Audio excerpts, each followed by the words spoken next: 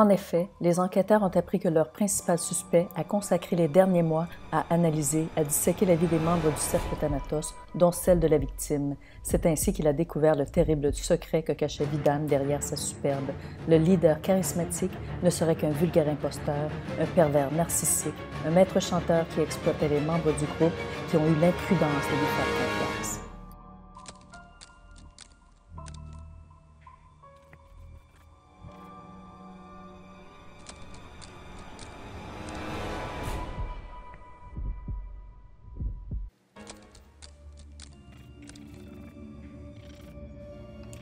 Au cours de cette soirée fatidique, les événements se succèdent rapidement et prennent un cours inattendu. Les prestations défilent sur scène. Anthony surprend les propos de Vidam et d'Aïcha en lien avec le troll sévissant sur le fil Instagram du cercle Thanatos et le fait qu'il s'agit sûrement de l'un d'entre eux. 22 heures. Les poètes ferment leur micro pour laisser place à la musique qui joue à plein régime. Craignant que Vidam fasse porter l'odieux de ses crimes au troll, Anthony le suit alors qu'il se dirige vers le sous-sol du bistrot. Il est désormais prêt à le confronter, peu importe les conséquences que cela implique, pour éviter que le piège de Vidam ne se referme sur lui. Avec cette atmosphère survoltée, aucun témoin pour affirmer avec certitude que les deux hommes sont descendus en même temps. Ils se retrouvent ainsi tous deux au pied de l'escalier. Rapidement, la situation dégénère et éclate une violente altercation au cours de laquelle Vidam brandit un poing américain pour combattre son adversaire. Agile, ce dernier esquive la plupart des coups et frappe son assaillant d'un direct qui le propulse sur un urinoir.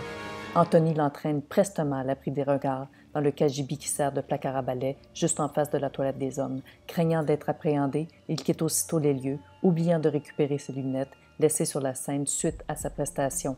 La victime est décédée des suites d'une hémorragie interne provoquée par un violent choc reçu à la tête. Le prévenu a conservé le silence sur toute cette affaire parce que, pris de panique, il s'est enfui et qu'il a par la suite été victime d'un de ces fameux trous de mémoire. L'expertise psycholégale n'a mis en évidence aucun élément incriminant permettant de remettre en question la crédibilité du suspect relativement à ses moments d'absence. Le suspect gardait les traces du poing américain sous les côtes. Les marques de contusion lui ont rafraîchi la mémoire car il n'en avait plus aucun souvenir, pas plus d'ailleurs que celui d'avoir récupéré l'arme qui a été retrouvée dans la poubelle de la toilette des hommes. Cette dernière avait été emballée dans du papier à main. Les empreintes digitales de la victime s'y trouvaient encore quand les techniciens de la police scientifique l'ont examinée.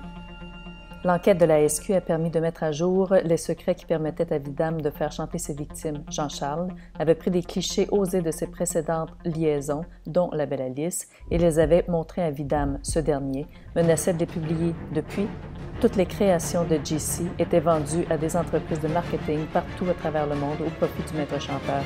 Il avait même poussé d'audace jusqu'à impliquer Jean-Charles dans d'autres combines pour faire chanter de nouvelles victimes. Avec Aïcha, le manège durait depuis plusieurs années. Elle avait commencé par rédiger les travaux scolaires de Vidam, puis les textes de ses chansons, et depuis quelques mois, il avait même ajouté tous les écrits électroniques liés à des échanges commerciaux et à ses contrats. Mais pourquoi donc? De nature passionnée, Aïcha adore jouer avec les lunettes. Alors qu'ils étaient adolescents, elle avait participé à une machination tramée par Vidam qui se voulait sans conséquence. Un jeu de rôle excitant, interprété par la belle Aïcha, aux répercussions tragiques. À la suite de ces événements, un adolescent de leur classe n'avait plus été revu. L'affaire sera reprise par la Brigade des crimes non résolus pour de nouvelles investigations. Un dossier à suivre